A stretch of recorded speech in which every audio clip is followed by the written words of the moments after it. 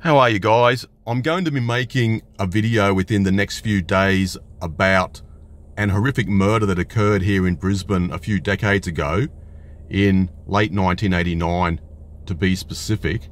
And it's going to be quite a lot of disturbing content. So I just thought I'd warn everybody in advance. And it's going to be an audio video with a bit of footage from the vicinity of the actual crime scene. And this will be a warning to people like PUAs or guys, young or old guys who like to go to bars and clubs and go home with strangers, whether that be men or women. And I should be publishing this video by about Wednesday night because um, it'll take a little bit of work and I'm going to come out here tomorrow because um, it's near the end of the holiday season now so it'll be a lot quieter but it's quite hard to make these type of videos at the current time. But within the next two or three days, it will be a lot better.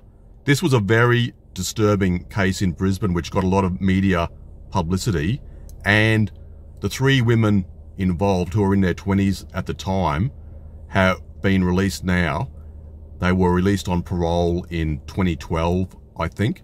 And that caused a lot of community outrage at the time and the ringleader, she should never have ever been released, or the other two either for that matter.